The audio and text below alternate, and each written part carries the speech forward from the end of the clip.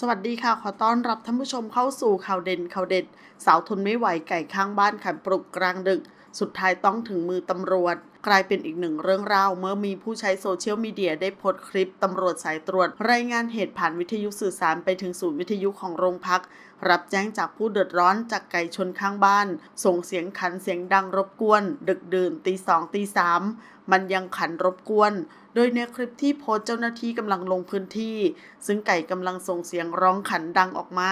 ตามด้วยเสียงของผู้เดือดร้อนเป็นหญิง ยืนยันเสียงไก่ที่ร้องดังออกมาเป็นไก่ตัวการใหญ่สร้างความรำคาญ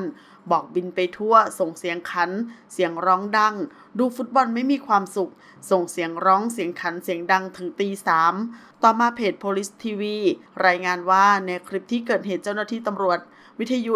191 ได้แจ้งจากได้รับแจ้งจากผู้เสียหายว่าไก่ข้างบ้าน ขันรบกวนหนัก สร้างความรำคาญจึงได้แจ้งไปยังสถานีตำรวจลาดพร้าวเจ้าของพื้นที่ ต่อมาดาบตำรวจธงชัย พันจิ๋วผบหมู่ สอนอลาดพร้าวและดาบตำรวจพัฒศักดิ์วัฒนปัญญพัฒน์ พบหมู่เดินทางไปยังพื้นที่เกิดเหตุ ที่เกิดเหตุพบผู้แจ้งว่าไก่เพื่อนบ้านขัน และปีนขึ้นหลังคาส่งเสียงดังรบกวน ขอให้เจ้าหน้าที่ช่วยจัดการ และแจ้งเพื่อนบ้าน ให้หาวิธีหยุดไก่ขันเสียงดัง เจ้าหน้าที่ตำรวจใช้บันไดปีน แจ้งเพื่อนบ้านรายดังกล่าวรีบดำเนินการอย่างหนึ่งเพื่อไม่ให้มีเหตุการณ์ดังกล่าวอีก โดยเบื้องต้นเจ้าของบ้านคู่กรณีได้ปฏิเสธว่าไม่ใช่ไก่บ้านของตนเอง แต่มาจากไหนก็ไม่ทราบ แต่ยืนยันว่าจะจับไก่ไปปล่อยที่อื่น เพื่อจะได้ไม่ให้เกิดเหตุการณ์ดังกล่าวขึ้นอีก ขอขอบคุณข้อมูลจากสยามนิวส์ขอบคุณค่ะ